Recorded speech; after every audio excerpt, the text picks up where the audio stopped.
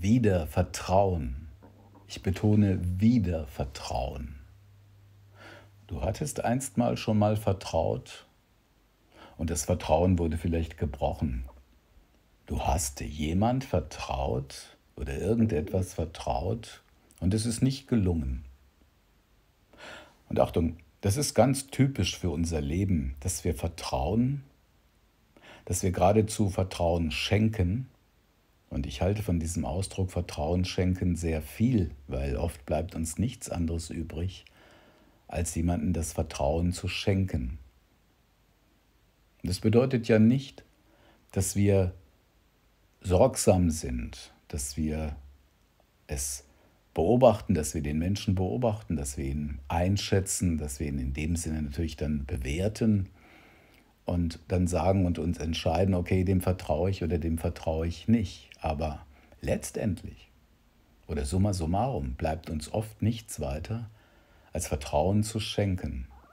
Das heißt, den Mut zu haben, etwas loszulassen, nämlich unsere Befürchtung loszulassen, unsere Einstellungen, unser Wissen loszulassen. Also das, was wir immer wieder taxieren, um uns entscheiden zu können und letztendlich den Mut zu haben. Und Mut bedeutet immer auch ein Risiko einzugehen oder sich dessen bewusst zu sein, dass es eben jetzt einen Durchbruch braucht, geradezu eine Brücke braucht, um etwas, was wir typischerweise nicht tun, ermöglichen zu können. Also wirklich etwas zu wagen im Leben. Genau darum geht es auch bei diesem Begriff Wiedervertrauen. Wiedervertrauen bedeutet, ich schenke nochmal Vertrauen. Und in der Folge nochmal Vertrauen, wie, auch, wie lange das auch immer sein mag in der Sequenz, des Vertrauen zu schenken. Und irgendwann mal ist natürlich dann eine Konsequenz da, wenn ich merke, ich habe Vertrauen geschenkt, nochmal das ist etwas sehr Bedeutsames, das ich zum Beispiel der Person gegenüber getan habe. Ich habe ihr nochmal eine Chance gegeben oder ich habe den Dingen nochmal eine Chance gegeben, zum Beispiel einer Prüfung, die ich vormals nicht bestanden habe. Und dann habe ich es nochmal probiert und vielleicht nochmal probiert und habe das also einige Male gemacht und immer wieder Vertrauen in die Situation hineingegeben. Und oft ist es dann eben auch so, dass sich das Vertrauen gelohnt hat. So, gemäß dem, dem, dem Grundsatz, den wir in der Verhaltenstherapie haben, try, try, try, try und error. Ja? Wir versuchen etwas, funktioniert. Wir versuchen etwas, funktioniert nicht. Wir versuchen etwas, es funktioniert nicht.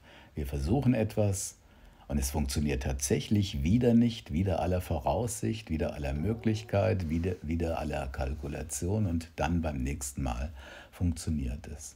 Das ist genau das gleiche Prinzip.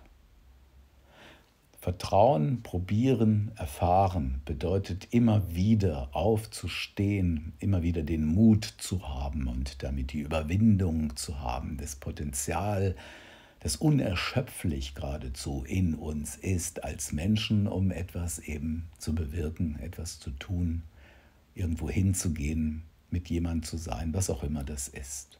Das heißt, wieder Vertrauen bedeutet sich nicht entmutigen lassen trotz vielleicht krasser Perioden, Zeitperioden, wo du immer wieder bemerkst, dass du das Vertrauen, dass das Vertrauen nicht gelungen ist, dass ein Mensch immer wieder das Vertrauen missbraucht hat. Und Achtung, an dieser Stelle kommt natürlich noch hinzu, dass wenn du nicht wirklich vertraust und misstrauisch bist, argwöhnisch oder vielleicht sogar paranoid oder präparanoid, also dem nicht glaubst, also das ist ja so ein Kern der Paranoia, des Wahns, nicht zu vertrauen, Misstrauen zu haben, letztendlich, dann führt das dazu, wenn du dieses Misstrauen in dir hegst und in dir pflegst und immer wieder drauf und dran bist und nicht wirklich vertraust, dass dir dann auch das Nichtvertrauen entgegengebracht wird. Also es ist geradezu so, dass du das dann anziehst oder auch anziehen kannst. Das ist jetzt sehr vermessen, dieser Ausdruck, aber es hat tatsächlich etwas damit zu tun. Und insofern brauchen wir oft dieses Innocente, dieses Kindliche, geradezu dieses naive Vertrauen, dieses Urvertrauen den Dingen im Leben, den Prozessen im Leben gegenüber. Es braucht es einfach. Es ist so wie etwas vollkommen blank sein. Ich nehme mal diesen Ausdruck blank sein oder nicht wissen. Nicht wissen, ja, auch in, in dem Hinsicht. Und wir gehen dahin und weil wir das Vertrauen haben, wird uns Vertrauen entgegengebracht. Und umgekehrt. Also es ist egal, in welcher Position wir das betrachten. Es ist also etwas Losgelöstes. Ich habe neulich ein Audio gemacht über den Vertrauensmissbrauch. Natürlich gibt es das genauso. Es gibt eine Menge Positionen, Kommerzialisierung, egal wo wir hineinschauen, wo unser Urvertrauen immer wieder benutzt wird und geradezu ausgebeutet wird, damit ich irgendwas einkaufe oder sonst was. Das ist ja noch harmlos in der Hinsicht. Da gibt es noch ganz andere Beispiele. Natürlich ist das so. Und das ist bedauerlicherweise so, aber niemand schützt uns letztendlich oder nichts schützt uns letztendlich davor, dass wir immer wieder Vertrauen schenken müssen. Und Vertrauen schenken hat etwas tatsächlich mit Loslassen und Mut zu tun. Also wir könnten sagen, Vertrauen, Vertrauen schenken, etwas loslassen und den Mut haben zu springen. Und deswegen nicht zu wissen, nicht genau kalkulieren, nicht genau planen oder zielführend entstehen zu lassen, braucht es immer wieder.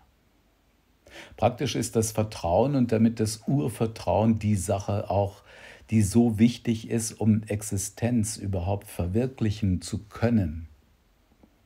Wie oft habe ich in meinem Leben erlebt, dass ich nicht genau wusste, was ist jetzt. Und dann hatte ich einfach den Mut, weil ich zum Beispiel ganz schlichtweg, ich sag's mal so profan, die Schnauze voll hatte.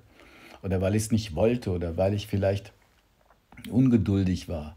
Was auch immer der Anlass war, um zu vertrauen. Und tatsächlich, in vielen Fällen hat das funktioniert und ich bin dankbar dafür. Das ist ja auch das, was daraus dann noch resultiert, wenn man im Nachhinein dann sieht, in der Retrospektive, dass es sich gelohnt hat, dieses Vertrauen zu geben und dieses Vertrauen zu machen, dann bist du dankbar dafür und dann stärkt das dein Leben, deine Lebenskompetenz, tatsächlich diese Möglichkeit, dein Leben zu entfalten. Und darum geht es ja immer wieder, das Leben zu nehmen. Zu, zu nehmen, du schenkst dir das Leben, nicht, dass sich das Leben umbringt, sondern du schenkst dir das Leben.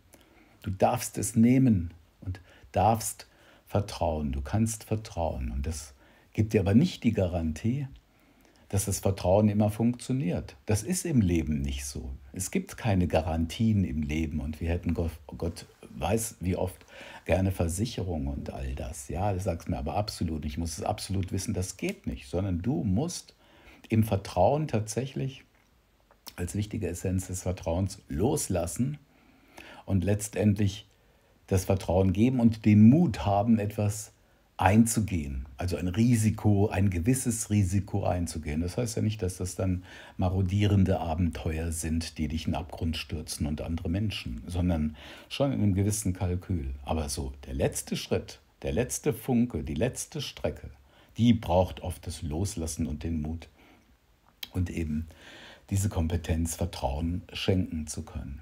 Weil die Wahrscheinlichkeit, wenn du das tust und wenn jemand bemerkt, der einigermaßen klar drauf ist oder menschlich drauf ist, dass der das dann auch annimmt und sagt, oh, die hat mir jetzt Vertrauen geschenkt, dafür tue ich jetzt aber auch etwas. Ja? Das, das bindet ja.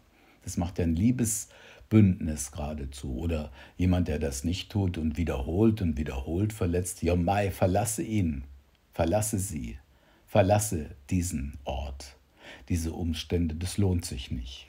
Die Welt hält viel mehr für dich parat, wo es dann tatsächlich so sein kann. Also halte dich in dem Sinne auch nicht immer wieder penetrant bei den gleichen Thematiken auf und scheitere dann und lass andere Menschen scheitern und scheitern und scheitern. Irgendwann mal ist Schluss. Irgendwann ist einfach Schluss. Dann heißt es einfach nur loslassen, umdrehen, nichts tun in der Hinsicht weiter, sondern jemand oder etwas anderem das Vertrauen zu schenken. Das ist es oft, was, was trägt. Wieder Vertrauen? Vertrauen schenken hat etwas mit Loslassen und Mut zu tun.